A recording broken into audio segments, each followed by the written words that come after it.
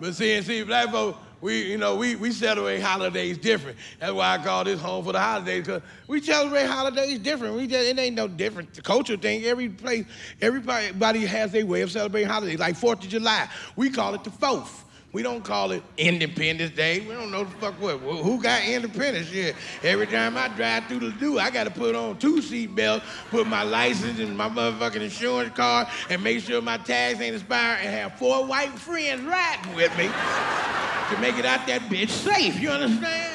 Fuck that independence. We just call it fourth or a day off. That's all we call it. We don't celebrate it like that. We don't even do it the right way. Shit. We get we, we have a we have a picnic at the at the park. We don't even do picnic right. We don't do it right. What we do, we just we get down to the pavilion early. We didn't even get a, a petition for the pavilion. We just see a motherfucking pavilion open. We walk right in that bit and put our shit up. Hey, white people come through. Excuse me, do you have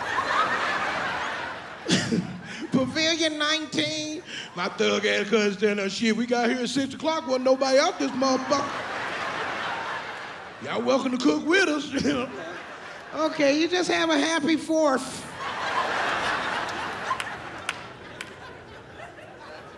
It always start off my uncle out there, my big uncle out there cooking. He grilling that shit, smoking. He got that water splash, got that towel wiping that sweat off back. Got them cut off shorts. He cooking, got his Al Green playing and shit. He just cooking. He tasting meat right off the grill. Meat 300 fucking degrees. Put it right in the mouth.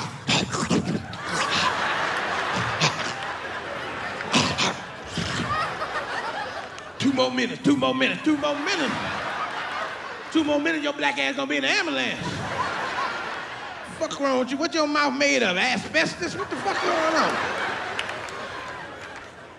And then my auntie, she show up early. She out there waiting for, she want to get first dib on the meat. Her big ass out there got a bottle off, spraying mosquitoes and swatting with a fly swatter. Talking about these mosquitoes keep flying between my legs. I said, they probably trying to commit suicide.